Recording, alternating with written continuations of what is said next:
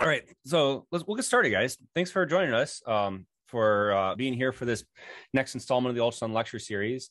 Um, it's good to be kind of back in my office. I've had some, I've been off and on for the last couple months just with some uh, family leave after the birth of our, our daughter. So it's been, it's good to be back and just kind of in the saddle here and just kind of uh, rolling again with the ultrasound lecture series. So um, today we are going to talk, I changed gears a little bit. I know I sent out the email saying we're going to talk about renal ultrasound um because i thought we were still on our renal block for um, our fellowship and sandy informed me that no actually we are in our ob block now. So i changed gears to ob a little bit. So i hope you guys don't mind. Uh, most of you ed folks we got to do both anyway. Uh, brittany uh, hope you don't mind uh, talking a little about ob and um, for you know ashley from the, the surgical side as well. Um, but that's what we're going to do. Uh, we're going to talk a little bit about, about pregnancy and um, without trying to make it too dis- um, too uh, depressing, we're going to talk a little bit about failed pregnancy. Uh, so, those of you who's rotated with us, we've talked a little bit about kind of the normal first trimester ultrasound and kind of how you kind of process through just that normal part. You know, so what what do you see? Kind of what do you measure? Kind of how do you decide this is a normal intrauterine pregnancy? But what becomes a challenge is how do we decide when there's complications, right? Um, and so we'll spend this week talking a little bit about the complications. And one of the potential complications is failed pregnancy. Um, and so, yes, I know it's a little bit depressing um, as we get into the holiday season, but I think this is something that's important to talk about because uh, it's something that we see from time to time that comes into the ED and kind of how to make that diagnosis and use the tools uh, at our disposal to to really to make that diagnosis myself in here so you can see as I'm talking. Um, so let's get moving. Uh, so the objectives of today's talk are really going to be twofold, right? To discuss basic ultrasound in the first trimester and really not, we're not going to review all the different windows and things like that, but you'll see it come up as we kind of talk about kind of the different ultrasound windows that we have and kind of the different things that we're going to look at in the first trimester and really hone in on defining some criteria to define pregnancy failure. And this is a really important thing to define because um, it, I mean, they're big decisions and um, a lot of things hinge on this. And so it's really important to get this right uh, and not to, not to um, kind of gloss over this. So as always, let's start with a little bit of a case, just kind of get our mind prepped and kind of warmed up. Um, get us thinking along that line. So you're working in ED West, you're working in urgent care, you're working in fast track, whatever you want to call it. Uh, you're consulted to see somebody, um, you know, who's pregnant, 24 year old female. This is a completely made up case, um, but it will be very, um, you know, illustrative of the cases that we see down in the emergency department uh, or in these various different settings. So, 24 year old female, uh, let's say she's a G3P2, right? So, um, two previous live births, kids. I don't know, pick an age. You know, they can make them you know five and three for whatever you know. Um so now she's coming in for a third. She's got lower abdominal cramping right? She's got vaginal bleeding and this all started last night right? All this you know since last night. And so this is obviously disquieting for the the patient. She's uh, come to the emergency department and she's here to seek our help and kind of see what what needs to be uh, what's going on what needs to be done right? Uh, so you do your exam right? You get that history. Um, pelvic pain feels like a period she's got some bleeding it's more than spotting um, you notice on exam that there's blood in the vault, right? When you do the bimanual, the cervix is closed, right? So we don't have uh, an obvious, um, you know, miscarriage in process. Um, so blood in vault, cervix closed, and you get a, you know, urine HCG and it's positive. I mean, you expect to be. So she took, you know, a handful of tests at home. She said they're all positive at home. So big surprise, it's positive here, right? So that's kind of what you're given. What's the next step, right? What do you want to do? What do we need to do for this, um, you know, this woman who's sitting in front of us, uh, kind of with this complaint? And that's kind of what we're going to talk about. And so, as we go through this, as I kind of talk to patients um, in this regard, I say, hey, look, you know, your your pregnancy test is positive. You got some vaginal bleeding. There's probably one of three things going on here, right? One, this could be a viable pregnancy. Like certainly, you can have some implantation bleeding. Um, Two, it could be a non-viable pregnancy. I mean, it's a very binary yes or no, right? Um, but we'll throw in the third one just because it's we have to think about it. It could be an ectopic pregnancy, and certainly the way I think about it is the degree of bleeding correlates with the the risk of a fetal loss, right? So for the viable one, if they have just a little bit of spotting here and there, um, you know, it could just be some implantation bleeding. Um, everything could be fine, right? Um, but it's that bleeding increases, right, as it becomes more and more period like. Um, now we need to be concerned: is this a non-viable pregnancy? Um, you know, i.e., a miscarriage. Um, but you always have to be thinking in the back of your mind: is this an ectopic pregnancy? And I know there's one study that I ran across years ago. I think it was the New England Journal. Um, that said that the the the percentage of patients presenting the emergency department in the first trimester who are symptomatic, right? So you have women first trimester symptomatic, the percentage of those who have ectopic pregnancies, and that study was about 10%, right? Which to me seems a little bit high. Um, certainly doesn't correlate with my um, my experience of 10% of my my symptomatic first trimester patients um, but I mean, I think whatever the number it is, it's illustrative of the fact that ectopic pregnancies are not an uncommon thing, and we need to be worried about that, right? So these are the really the big three things that I, you know, will talk to you know my patients like here, here's what's going on, uh, here's what could be the possible outcomes, and we need to work it up to this end, um, and really kind of figure out what we're going with. Um, that being said, oftentimes it's not that straightforward, you know, as we're seeing the patient. And so oftentimes as we do our workup, we're left with this pregnancy of undetermined location, right? Um, and that's really gonna be the challenge is kind of what do we do with this whole category of you're serologically pe- pregnant, but we can't find the thing, right? We don't know if it clearly fits in with the viable, non-viable, maybe you've passed it, uh, or is it ectopic, just hiding somewhere and you know we can't find it. Um, and so, you know, traditionally we think about, you know, our different treatment methods for each of these different uh, categories, um, but it can become problematic, right? So let's assume we have the diagnosis of an ectopic pregnancy, right? Um, you know, you have a non-viable pregnancy, or, or excuse me, um, a non-identified location, right? You have a, you know, positive urine HCG, and maybe even get a positive serum HCG, right? Um, one particular study, this one, uh, showed that in patients with uh, a negative ultrasound, right? They did not find an intrauterine pregnancy and an HCG greater than 2000, right? So um, they're definitely pregnant and they have a, a significantly identifiable serum HCG. Um, or they had an abnormal rise and fall of that HCG. There was a 40% um, rate of, of, of mixed, misdiagnosis, right? So um, basically said 40% of patients were initially diagnosed as ectopic based on these findings and actually, you know, were you know we're not right we're something else. Um, these may actually be viable right? And so if you're wrong 40% of the time calling it ectopic and it may actually be a viable pregnancy that you just haven't um, identified yet. I mean that has catastrophic consequences uh, for all parties involved right? Um, and so i mean this goes without saying if you methotrexate you know a viable pregnancy it just it doesn't turn out well right in this study there was eight women who were given methotrexate for um, and and found to have viable pregnancies ultimately um, and only two of those resulted in live births, but both of those um, those live births were se- severely uh, malformed. Right, so this certainly creates a lot of excess mortality, um, but also creates a lot of just um, you know emotional unrest for the the mom who's now got to deal with the fact that you know this happened um, you know in her pregnancy. So we want to be really right on this thing, right? Um, so there's the rest of the paper. Um, the other thing is, um, what about the initial diagnosis of miscarriage, right? And so in 2011, this group from the UK um, really looked at diagnostic criteria for miscarriage, you know, on in the initial ultrasound, right? Um, and so as part of the paper, they basically said for patients diagnosed as a miscarriage using only historical data, right? So we're not talking about ultrasound data, right? But only historical data. Hey, I'm coming in, I have a lot of bleeding, I'm concerned about this bleeding, it might be a, miscarriage. The false positivity rate for miscarriage or inappropriately diagnosed as a miscarriage when it was something else was about 8%, right? So I think what this tells us is that our history and exam alone really aren't necessarily sufficient to be able to definitively make this call, right?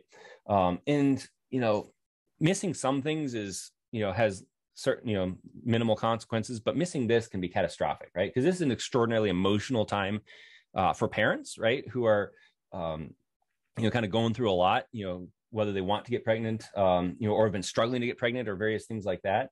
Um, so to miss this, to screw this up, can be extraordinarily devastating and overwhelming. So there's a lot on the line. It's kind of where I'm going with this one. Um, and as physicians, right, on our side, you know, it seems like we may be walking kind of this tightrope. You know, we are trying to tactfully manage the patient's understanding of kind of what's going on um, in the context of like their fears and their emotions, uh, but also we need to medically and accurately identify kind of you know what's going on here, um, you know, so that we don't really you know make these errors that are going to lead to catastrophic catastrophic outcomes. And so um, you know that's kind of the the tension or the balance that we're trying to strike here um, as we're as we're kind of processing through this right so the big question is with this tension in mind right? You don't want to err on the side of extra, excess maternal um, mortality or morbidity you know if you miss an ectopic right? You also don't want to err on the ex- side of excess fetal mor- you know morbidity or mortality if you call it nectopic and and it's not right? Um, so is there any data to help um, as we kind of process through this and add to or layer over top of our history and physical exam um, you know, to to make this determination? The answer is yes, right? There is data out there, um, and this this paper kind of really illustrates um, that data. So we're going to dive into this uh, over the course of the lecture, right? So this paper was published um, New England Journal, uh, 2013, by a, a, guy named Peter Doubilet uh, and his colleagues, um, and they really looked at the current uh, diagnostic criteria for non-viable pregnancy and kind of revised those a little bit because um, he was concerned about the you know the scenario that we were just talking about where you have you inappropriately diagnose a viable pregnancy as non-viable whether it be um, miscarriage or ectopic and um, you know and you give give the treatments that are you know warranted for those situations and then all of a sudden you know you realize oops that was a viable pregnancy right? So we're going to dive into this this paper and talk about it a little bit to help us kind of differentiate between that viable uh, and the failed pregnancy uh, but before we do that let's back up a little bit and let's kind of think big picture uh, about the first trimester, right? The patients that come to our department for care and our assessment uh, of these patients in the ED in the first trimester. And obviously, this is different than what OB is going to do because their um, their perspective, you know, for normal, healthy first trimester kind of establishment of care visits are going to be very, very, very much different, right? But when we see them in the ED, they're coming for unscheduled care. They're coming in with a, usually a complaint based care um, I have this issue, what's going on? And so we need to kind of walk through that from that perspective, right? So there's really three factors that we're going to use in the evaluation of women in their first trimester, right? So one of them is going to be the history and the physical, right? The next one's going to be labs, and the third one's going to be just ultrasound, right? So kind of the first one, the history and physical, um, you know, we'll take, you know, kind of take them in turn here. The history and physical, I mean, this sets up everything, right? They say not 85% of all diagnoses are made uh, using your history and physical exam. You know, whether that number is 85%, 80%, 90%, I don't know. I think it probably varies between uh, patient and patient and between uh, complaint and complaint. Um, but really, the history exam sets the stage uh, for what follows next, right?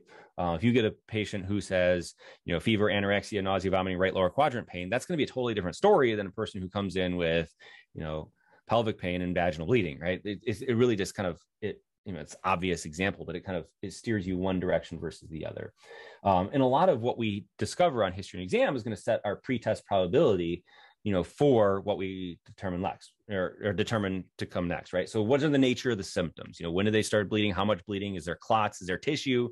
Things like that. And then, do they have a history of any of this? Do they have a history of miscarriages? Do they have a history of ectopic pregnancies? Because each of those are going to put you at risk uh, for having that kind of recur uh, in the future. And so, um, you know, some things that we need to to think about as we ask these patients. Uh, and then, from an exam standpoint, you know, I know this is kind of talked about in the ED literature or ED, you know, CME spheres. Like, do we need to do pelvic exams on, you know, on pregnant trauma or pregnant patients, you know, in the first trimester with bleeding? And you know, we can have that conversation about what the utility of that is. But let's assume you do the exam, right? is how much bleeding is going on you know do you need to use a whole bunch of those big q-tips to kind of soak it up or is there just a little bit that's kind of painting the inside um, on the exam there right? And then what's the cervical exam you know look like? And then i think this is the really the most important part you know is there cervical dilation uh, or is there not cervical dilation right? This is going to obviously not the the end all be all of things but it really kind of helps guide is you know is this a potentially viable? Is this kind of a, a miscarriage in process? Kind of what's going on there right? Um, noting the fact that it, like, these multiparous patients uh, can actually have some just baseline dilation, um, you know, that we got to kind of factor into into the, the equation as well. So, um, so secondly, labs. Um, obviously, these are generally not useful in the ED uh, in the evaluation of the first trimester. Probably the most important thing is the urine um, HCGs to, to say, yeah, you are pregnant and confirm that. Um, you know, sometimes people want to get uh, CBCs probably not going to give a ton of information unless you have a historical uh, feature in the patient's presentation that's going to suggest like massive exsanguination, uh, or they're like already uh, terribly anemic and they're just kind of want to see if they're you know tipping over to the point where you need, need blood or anything. But again, CBC is probably not going to be the most important thing. Um, RH status, I mean, this is pretty important, right? Uh, if they're bleeding, we kind of need to know their RH status to know if they need RhoGAM. Um, you know, if they're RH positive, good to go they're Rh negative, then you kind of have to mask the potential fetal um, cells so that you don't develop this, um, you know, maternal to fetal uh, reaction, right? So RH status, fine. We need to know that one. Um, and then the quant, right? The serum quant. Um, this is helpful. I usually just say to the patients, like, this is most helpful to the people you follow up with, right? To see the change. Um, for me, a single static value is probably not a, a ton of value. Uh, we'll talk a little bit about discriminatory zones and all that a little bit later. Uh, but a single value is probably not going to change a ton for me. Um, so I oftentimes don't necessarily feel like I have to keep the patient in the ED um, for that value alone if everything else kind of makes sense in the workup. Um, but it's a number that you're going to want to get so you can have the the gynecologist and the obstetricians kind of follow it up, right? Uh, that being said, discriminatory zone, you know, is talked about in the literature and it's generally considered to be true that um, uh, an IUP should be seen by a quant of a thousand and a on transvaginal, and a IUP should be seen by a quant of five thousand a transabdominal. But again, there's a lot of nuance there, and we'll get into that in just a little bit. Um, so it's not terribly reliable for ruling out a pregnancy, um, you know, in the in the ED, right? So those are the two two of the three prongs. The third one is going to be the ultrasound, right? And this is obviously where the money is. Um, you know, it's going to be kind of the primary test that we're going to use to help differentiate what's going on here. And seeing as how you're at ultrasound lecture, you kind of it kind of goes without saying, right? Uh, so we're going to use this to assess for fetal viability, right? So um, the first thing you want to do when you're when you're scanning is identify the uterus um, in sagittal orientation, right? And look at the whole the whole uterus, you know, all the way from the fundus down to the cervix. So I usually like to set my depth deep um, so I can kind of scan through, kind of use that bladder as a window, um, and see that that uterus kind of wrapping around the you know the superior edge of the bladder, kind of coming down to that point at the cervix where there, there's an angle, and then heading up the vaginal canal, um, kind of deep to that bladder, right? So I want to see this. It gives me a good you know good big picture perspective of where that uterus is whether it's anteverted retroverted you know there's fluid around it in the cul-de-sac you know things like that right so you're gonna look at look at that. Um, then you're gonna turn transverse. You always want to make sure you look at things in two orthogonal views because if you look at it in one, you actually may be seeing something adjacent to the uterus and just not realize that it's adjacent because you just oops, it kind of blends together. We've we've definitely seen that in our practice uh, where someone came and showed us a um, you know, hey, look at this IUP. And it's like, nope, it's actually an ectopic because it was smashed up against the uterus, right? So you want to look in two orthogonal planes um, to verify that it's actually intrauterine. Um, you kind of scan through come from fundus all the way down to cervix and look, you know, is it intrauterine? Where is it? Right. Um, I know Bob's used the example of a of a cul-de-sac, right? When you build a neighborhood, you have the cul-de-sac and you have the houses around the cul-de-sac, um, you know, around that road, right? So they're eccentrically located or eccentrically located. And it's the same thing with an IUP, right? It's not going to be in the endometrial canal, that bright white stripe that kind of runs down the uterus um, it's going to be just off to the side a little bit and it should be kind of high up in the fundus of the uterus not low down kind of in the you know towards the cervix or anything like that. Um, so again things that th- things to look for you know the sagittal orientation the transverse orientation um, you know is kind of what you're going to see. Sometimes you may see the ovaries in there um, oftentimes you probably won't. They may be you know either well obviously off to the side but maybe obscured by bowel or things like that. Um, you're looking for the you know the intrauterine pregnancy there. Um, and once you've seen the IUP, right, the intrauterine pregnancy, you want to measure it a little bit, and you're going to get some measurements. First one is get a you know an estimate of the gestational age, right, measuring the crown rump length. And so we see here the calipers are put from the crown to the rump, making sure you don't include the yolk sac, right, um, and that the machine's going to have a calculator built in that's going to spit out an estimated gestational age. And this is actually really important to get because one of the more accurate measurements of of gestational age uh, in you know in ultrasound as the baby grows um, the different metrics that you would measure kind of don't seem to grow at the same rate. I know that's definitely been the case for our kids and even for my um, you know one of my nieces. You know the eventually you can measure head circumference abdominal circumference femur length you know biparietal diameter and all those may grow at slightly different rates and there's general truisms but they become less and less accurate as the time goes on. So this is really important one just going to give us a really solid understanding of, of fetal gestational age, right? And so once we got gestational age pinned down, um, then we'll look for a fetal heart rate um, using M mode um, to, to document the, the movement of the fetal heart.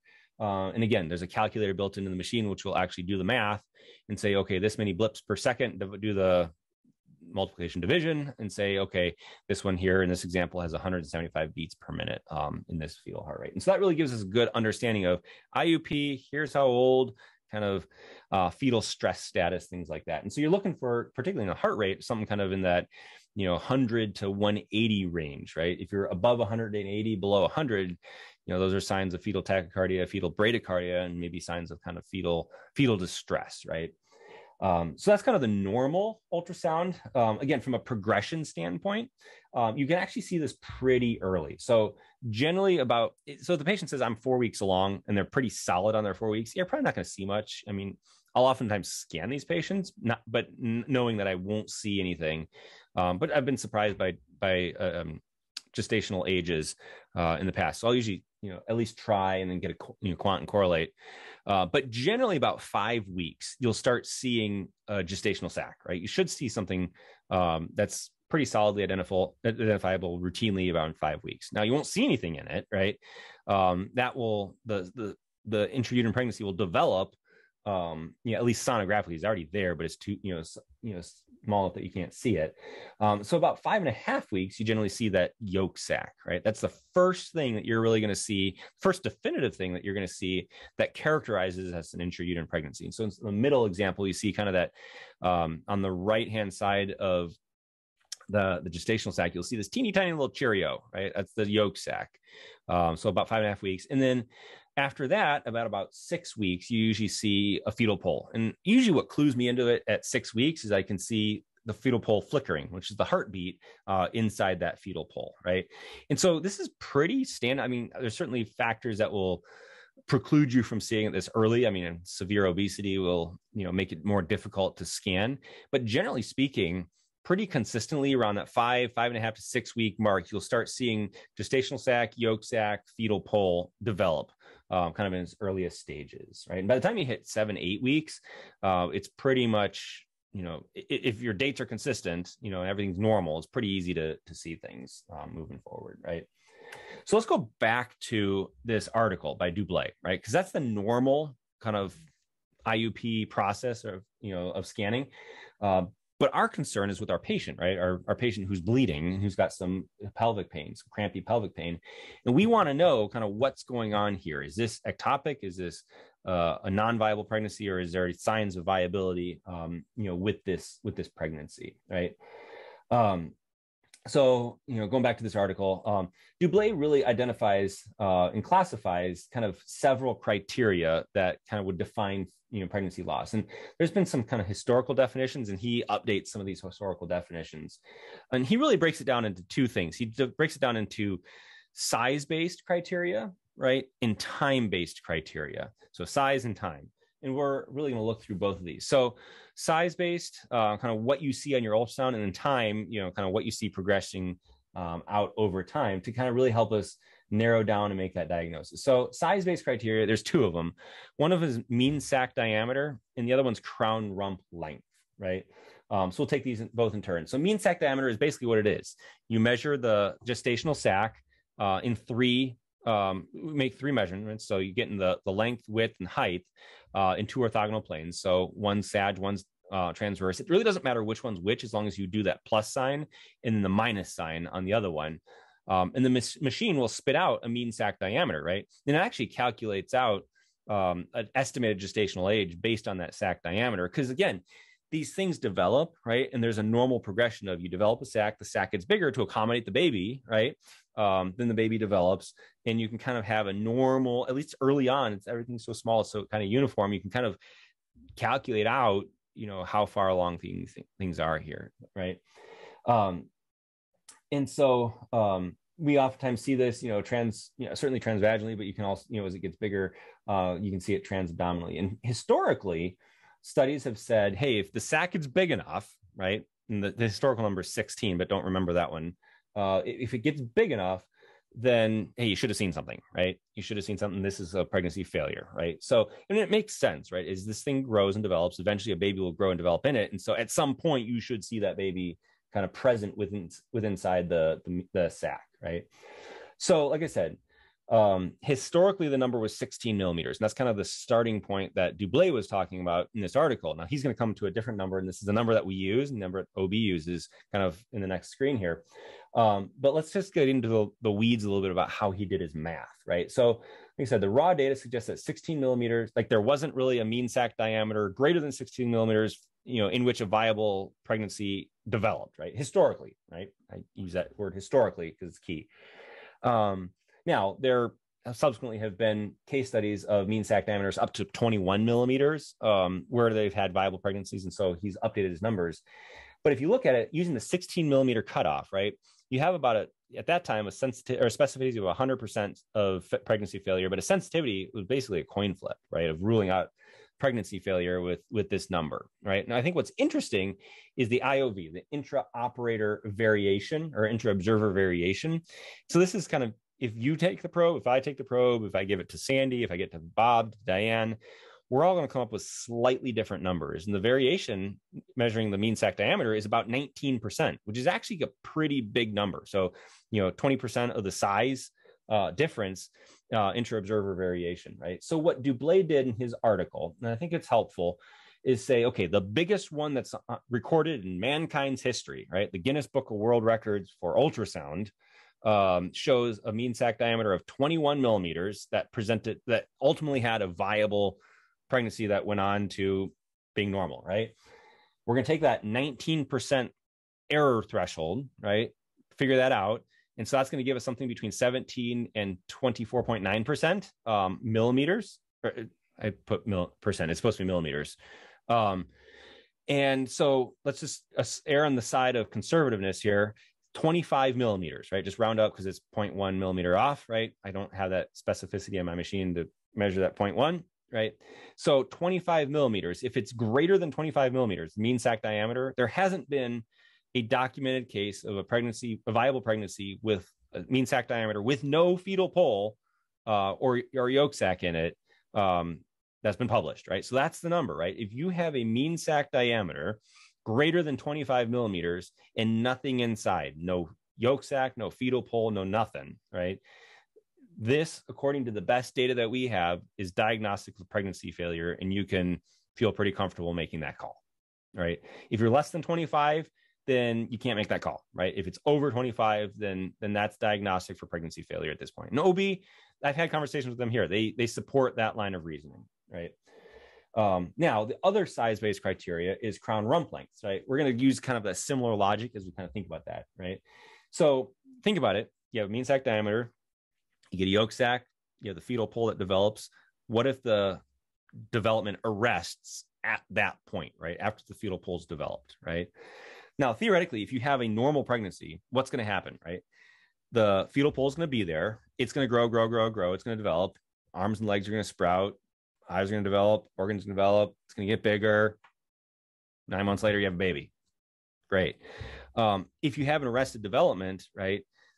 none of this is going to happen. Now, at some point, right, you're going to develop a heart rate. And we know that happens early, right? We we just talked a couple slides ago that happens about six weeks, right? You see that flickering uh, of that fetal pole because our machines are just the resolution doesn't kind of resolve something that's terribly small, other than it just shows a small little you know grain of rice that's flickering, right? That's the, the fetal pole, the heartbeat. Um, so that's supposed to happen around six weeks, but what, let's say you have a fetal loss, right? That heart is not going to be beating but the thing should be big enough to have a heartbeat, right? Because we know that at some point it develops, right? Uh, if you have arrested development after, you know, after that would have started, right? Um, so I guess it's a roundabout way of saying um, there is a number, you know, a size for the crown rump length, you know, where you should see uh, a fetal heart rate, and there's a number below which where it may still be developing, right? So historically, this number is five millimeters. So historically, they said if if by five millimeters crown rump length um, of let me rephrase that. If by five millimeters you saw a baby but no heart rate, that was concerning, right? Again, this number is going to be bigger or different, um, but again, it gives us pretty, you know, decent specificity, but sensitivity is kind of a coin flip. But again, the intra-observer variation is about fifteen percent, um, you know, in in this particular measurement, which actually is interesting to me that this one's smaller because it's a, you know, you're measuring a smaller thing, but it's the the numbers that are that are reported, right? So if we do the math, right, one of the biggest uh, crown rump lengths that we've had on record that didn't have a heartbeat that became viable was six millimeters, right? Add that 15 millimeter or 15% threshold is going to give you a 5.1 to 6.9 millimeter kind of variation, right? Um, in terms of variation. So round up again to seven. So the number that we're going to go off of is if you have a fetal uh, fetal pole, right, that's greater than seven millimeters, and you have not yet developed a heartbeat, well, that's diagnostic of pregnancy loss because it probably means you had something in, it, it, it quit, right? Um, if it's underneath seven millimeters, theoretically, it could still be just developing enough to the point where you haven't had that heartbeat start yet, right? So the numbers we're going to go with here, and again, Peter Doubilet uh, publishes these. The OB folks uh, go by these 25 millimeters, you know, greater than 25 millimeters mean sac diameters, diagnostic of pregnancy loss, greater than seven millimeters fetal pole without a heartbeat, right, uh, is going to be diagnostic of pregnancy loss or pregnancy failure in this situation. Does that make sense? Kind of two size-based criteria. Those are kind of the easy ones here. The next one, as we get into, are going to be time-based criteria, and these become maybe a little less applicable to the emergency department, especially if it's the first visit to us. If it's a subsequent visit, it may be something we need to know, but certainly uh, some criteria that the OB folks will need to know as they kind of process through uh, in follow up after we've taken care of the patient. So there's time from gestational sac development and time from yolk sac development. Um, and we, again, using this logic of in a normal pregnancy, we should see these things develop kind of in sequence and kind of get bigger and kind of happen. Uh, if you don't see this, if you see an, you know the development's arrested at some point, uh, then you know something's going on, right? So again, the main criteria that we're going to be going off of is, or the main timeline we're going off of is five, five and a half, six weeks from gestational sac to yolk sac, yolk sac to fetal pole. So that all happens in kind of that one week time frame, give or take a little bit, right? Um, usually we can say kind of, you know, fudge factor of kind of a, a half a week. So I don't know if it doesn't quite get there by five and a half weeks, you know, give it a little bit of time and you know, it gets there, right? So there's these two criteria. Basically, if the first ultrasound you identified a gestational sac or a yolk sac, right? That's kind of the two entry criteria, the two starting points, right? Then you need to wait a certain amount of time till you have lack of a fetal pole with a heartbeat uh, to call it a pregnancy failure, right? So the numbers are 14 days from gestational sac to fetal pole with a heartbeat, right? If you if you've gone 14 days, right, from when you first identified a gestational sac and you still have not yet to develop a fetal heart or a, um, um, a fetal pole with a heartbeat, that's diagnostic of pregnancy loss. Same thing. Remember, the yolk sac develops about a half a week later than the gestational sac, right? So you basically knock a half a week off, you know, 11 days. So 14 minus, you know, in this situation, three is 11, right? So it's almost a half a week, three and a half days, something like that. Uh, if you go from seeing a yolk sac on your first ultrasound to, oh, yeah, I haven't got a fetal pole with a heartbeat 11 days later, that's diagnostic of pregnancy loss. And if you are underneath those time windows, then you still have a few days to wait before you bring the patient back and rescan them before you definitively call it, right? You can say things are concerning, but to definitively call it, you have to say, uh, wait that 14 days or the 11 days from gestational sac development or yolk sac development, respectively. Does that make sense? Kind of a lot of numbers to kind of keep in mind or to throw out there. Um, with the time that we have remaining, I do want to talk a little bit about this concept of the discriminatory zone, right? Because this is significantly controversial. Um, you know, I haven't talked to the OB folks um, about how much they rely on this, but my gut is that they kind of rely on this a little bit more than we do. I think emergency medicine tends to have a, a degree of skepticism um, about you know relying heavily on a single value or sing- single numbers because uh, our job is to find the needle in the haystack, and you have to be skeptical to do that. Um, so it's just a different perspective. But i think we need to talk a little bit about kind of this this concept right? Um, and i'm going to just lead with saying i don't believe that the discriminatory zone should be used uh, in the ed as a primary way to diagnose pregnancy failure or non-intrauterine pregnancy i.e ectopic pregnancy right? I think you need to rely on other methods but it certainly you look at this and see if it's consistent with or concordant with the the clinical scenario that's playing out in front of you right um, and the reason why is there's a huge degree of overlap between um, what the HCG level is between the different categories of viable, non-viable, and uh, ectopic pregnancies, right? Uh, so you can't really get a single value and say it fits in this this um, this neat and tidy bucket. And I should put it in here. I haven't my other lecture. There was a uh, a graph that was published in one of the New England Journal articles, uh, which it showed kind of a ascending level of HCG and a descending level of, of HCG over time. Um, and certainly there was the categories of, you know, non-viable, ectopic, uh, viable, right? Um, but there was a significant band of overlap um, between several of those different categories, making it really hard to decipher, um, you know, for some of these cases, right? Um, but let's just kind of go with this whole concept of generally speaking, by a, a, level of about a thousand, right, you should see something on a transvaginal ultrasound, right? So they say, if you want to know kind of the traditional teaching, uh, a, um, a quant level of a thousand to two thousand, and this is um, milliunits per milliliter, um, should be consistent with seeing an IUP on a transvaginal ultrasound. So that's kind of the discriminatory threshold, right? If you if you scan and, and the logic kind of goes like this: if you scan someone with the TV, right, and you don't see anything, right, and their quant is let's just pick some egregious number, eight thousand, right? Theoretically, you should be seeing an IUP, and so it really should raise a question of okay, is this ectopic, right? Now it gets a little bit more muddy when you get closer to that discriminatory zone and say, okay, the quant is fifteen hundred now what do I do? Right? Could this be viable? Could I just not see anything yet? Yeah. Um, or let's say the quant's 500 and I don't see anything.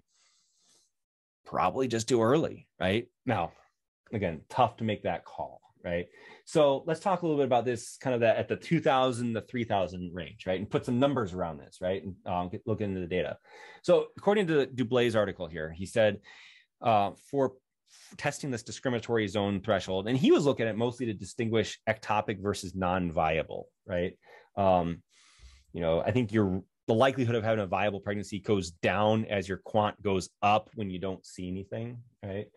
Um, so at the level of 2000, right, um, in their cohort that they were looking at here, uh, one was viable, 19 was ectopic, and 38 was non-viable, right? When you bring your quant up to 3000 right? You're looking at 170 and 140 right? So you basically um, you know in this discriminatory zone that 2000 to 3000 you have kind of a two to one non-viable to ectopic rate but still it's not very clear. So i think it's hard to make that call and say hey look i have a quant that's 2500 i don't see anything on my ultrasound. It's got to be ectopic. You know i don't know like the data really kind of shows that it's not necessarily clear right um, you know, now you can, it may be a little bit easier to say, well, the, the rate is 19 to 1 or 71 uh, for ectopic to viable for 2000 and 3000 respectively. And so um, it can kind of give you some prognostic ideas. But again, I wouldn't use this definitively to say 100% this is this is what it is, right?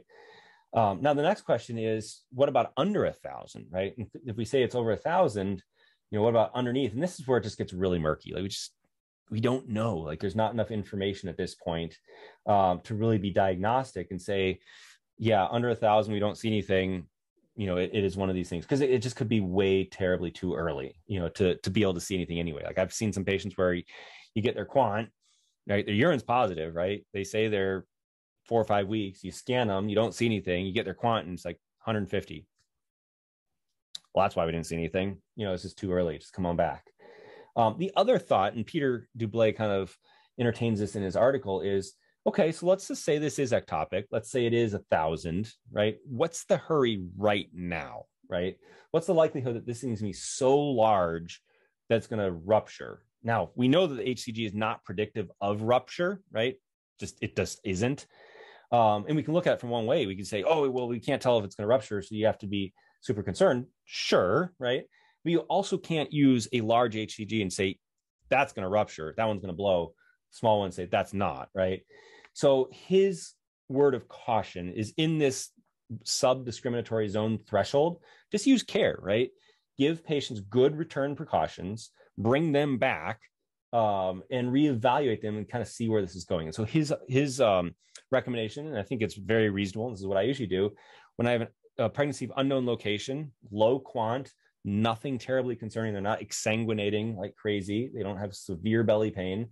Um, bring them back. Serial HCGs are going to be your friend and see kind of what direction things are going, right? Um, you know, so we don't have to to immediately jump to, you know, this is an ectopic. We have to admit them and deal with this, right?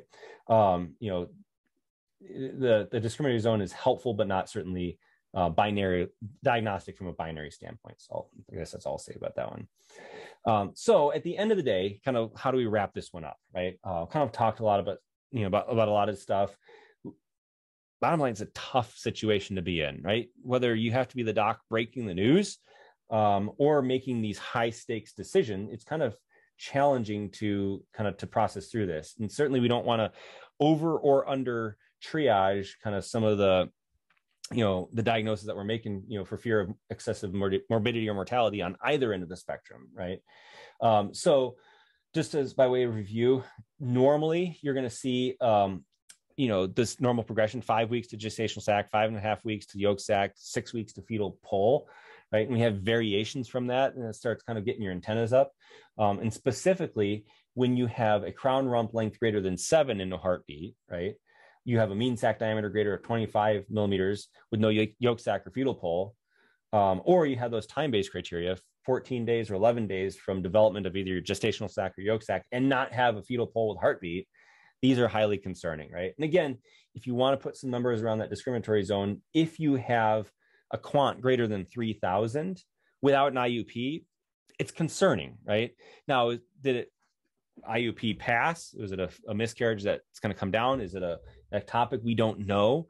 And so in this situation, repeat HCGs, repeat ultrasounds are going to really be your friend unless you have hard evidence of, you know, of like an ectopic, um, you know, with rupture or things like that. So that's kind of the basics, um, you know, of of pregnancy failure. Kind of walking through this article and hopefully putting some um, some practical examples around that. But any questions uh, about this, kind of as we kind of process through this information kind of try to bring this to the bedside.